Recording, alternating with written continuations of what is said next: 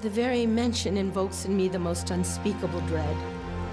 George and I are as hungry as anyone else, but we are steadfast on this issue. As long as we still have oxhide, we shall eat only that.